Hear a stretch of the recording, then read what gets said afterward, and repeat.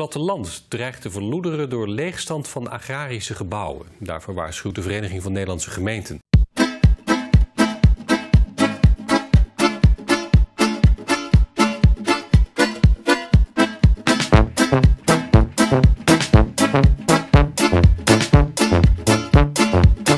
De dakakker uh, boeren we eigenlijk op biologische wijze, dus vrij uh, traditioneel, eigenlijk op, op één laag. Uh, met de subhub zou je ervoor kunnen kiezen om nieuwere vormen van agricultuur te kunnen gaan uitproberen. En dan kan je bijvoorbeeld denken aan permacultuur of voedselbossen.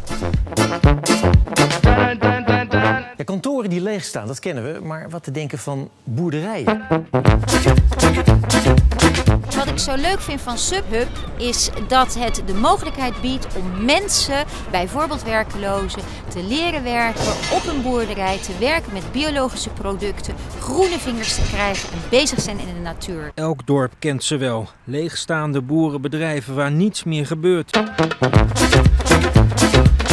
Ik denk dat het voor de vrijwilligerswinkel leuk is voor de mensen die een tegenprestatie leveren, uh, om die in te kunnen zetten op deze subbboerderij, zodat zij hun talenten verder kunnen ontwikkelen, zodat ze mogelijk misschien in de toekomst uit kunnen stromen naar betaald werk. De komende 15 jaar zullen in Nederland naar verwachting zo'n 20.000 boeren ermee stoppen.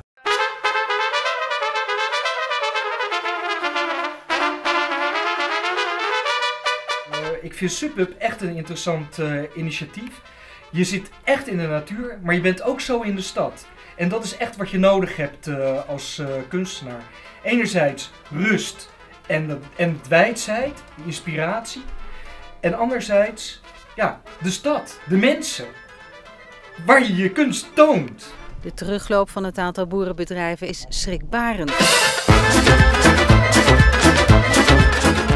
Geef ook les in uh, een van de parken in Rotterdam, dus het Vroezenpark. Nou, als ik daar ben, komen er zoveel mensen omdat ze het heerlijk vinden om in de natuur te zijn. Dat je geen plafond, gewoon oneindig naar boven kunnen kijken terwijl je in bepaalde houdingen staat.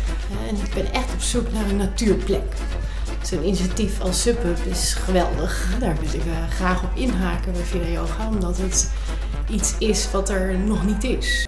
De VNG adviseert gemeenten bij het maken van plannen om de verloedering tegen te gaan, bijvoorbeeld door leegstaande gebouwen een andere bestemming te geven.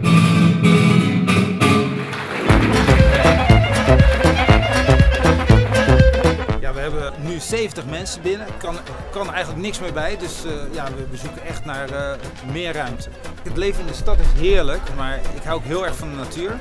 En het zou fantastisch zijn als we op fietsafstand een plek zouden hebben waar we kunnen uitpakken met kunstwerken. Uh, ja, daar zijn we echt naar op zoek met Galerie Untitled.